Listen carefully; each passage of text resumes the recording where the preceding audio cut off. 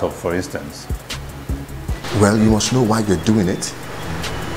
Um, um, a lot of people are into the security business for the money, but not for the passion, not for the service, not for the value that they are adding to the community.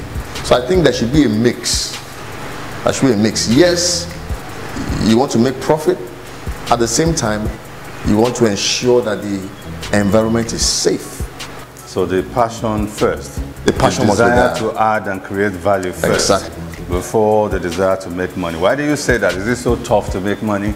I And one would assume that everybody should be concerned about their security and the security of their properties.